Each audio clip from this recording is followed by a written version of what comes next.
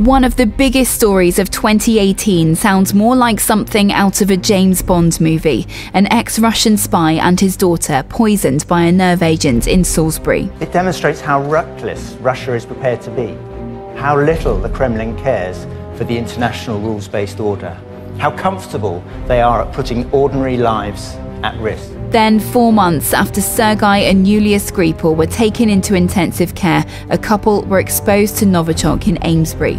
Dawn Sturgess lost her life.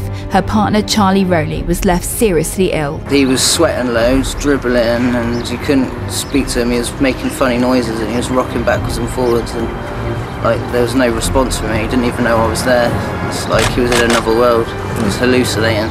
Undoubtedly dark days for South Wiltshire, but from those stories of bravery, like Nick Bailey, the Wiltshire Police Detective Sergeant who carried out investigations at the Skripals house in Christie Miller Road, only to end up in hospital, and the doctors and nurses who saved their lives. The past few weeks have been enormously testing for all our staff.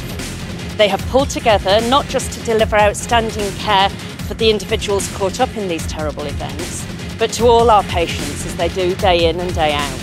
And it was a city united that greeted dignitaries, including the Prime Minister. The important message I've had today from Salisbury is that Salisbury is open. You know, it's a great city to visit, and we want to see people coming here and continuing to enjoy the beauty and the history of this wonderful city.